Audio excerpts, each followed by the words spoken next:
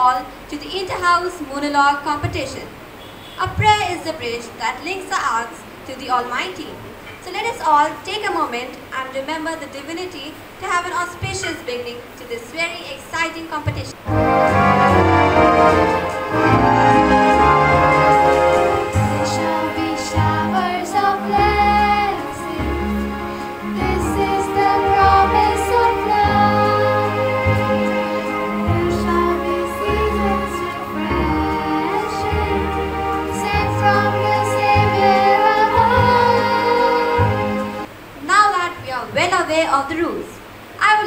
Invite our first participant, Aradhya Sena of class 8D on stage. We have witnessed many things. We have witnessed many things such as joy, excitement, such as joy, excitements, blessings, and all. But there is one thing that I don't understand. Why do some people have everything but others don't have anything? We have seen that most of the peoples get paid for eating less and wearing least. But the other part of society does not have anything to eat or wear, but hardly gets something. I'd like to invite our second participant, Palak Mohapatra from class 8E. I don't think anyone here underestimates the importance of energy in our lives. Look around here. The lights, the fans, the microphone, all have made today's event possible. Reliable energy not only supports our lives, but all sectors of business. Lack of this affordable energy would have a severe, severe impact. Greetings. I'm Palak I'm here to emphasize on the topic affordable and clean energy. Until now, our excessive dependence on cheap fossil fuels like these has resulted in greenhouse gas concentrations, sea level rise, ocean heat, and ocean acidification. The change in these four key indicators consistently implicates human activities as the cause of climate change. Next, I would like to call our third participant, Fatima Zahra of class 8E. I wish a very good afternoon to everyone present over here. My name is Fatima Zahra.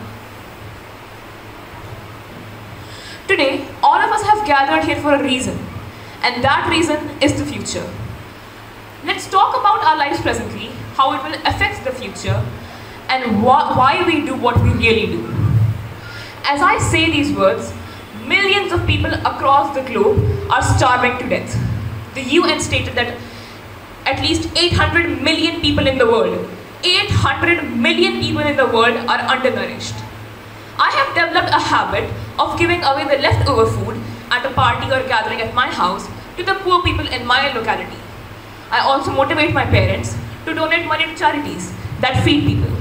And I do so because malnutrition produces weaker individuals. To make a sustainable future, the world is in the need of stronger individuals. And that is why we must end world hunger. I would like to invite our last participant, Amina Nadeem Sayyed from class 8A. I once saw a documentary on how a seagull's stomach was filled with trash, and it horrified me, which got me to investigate more on this topic. Good morning, I am Amina from class 8A speaking on the topic Life Below Water.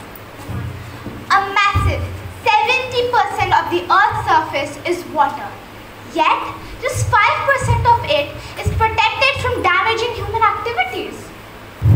I once saw a documentary on how a seagull's stomach was filled with trash, and it horrified me, which got me to investigate more on this topic. Good morning, I am Amina from class 8A speaking on the topic Life Below Water. A massive 70% of the Earth's surface is water, it is protected from damaging human activities. Overfishing, the most brutal way in which humongous nets are placed at the bottom of the ocean and are dragged along. I would like to invite Dr. Shiva Sari Sambal to the stage to enlighten us with her kind words.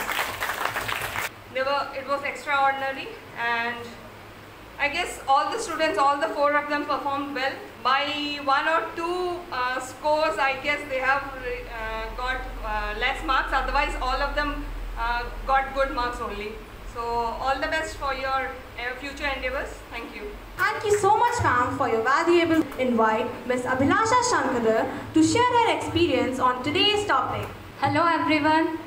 Uh, first of all, I would like to thank uh, DPS Jankipuram for inviting me to their prestigious school to this uh, inter, uh, inter-house monologue competition.